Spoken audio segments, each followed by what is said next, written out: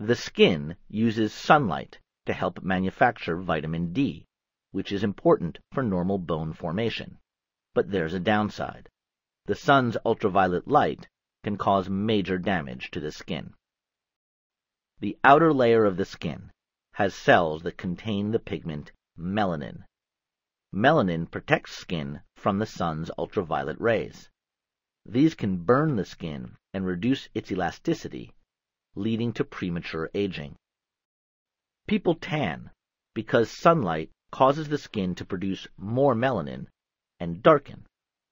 The tan fades when new cells move to the surface and the tan cells are sloughed off.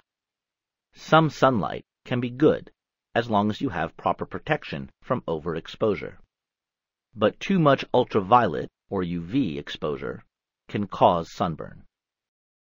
The UV rays penetrate outer skin layers and hit the deeper layers of the skin where they can damage or kill skin cells. People, especially those who don't have much melanin and who sunburn easily, should protect themselves. You can protect yourself by covering sensitive areas, wearing sunblock, limiting total exposure time, and avoiding the sun between 10 a.m. and 2 p.m. Frequent exposure to ultraviolet rays over many years is the chief cause of skin cancer, and skin cancer should not be taken lightly.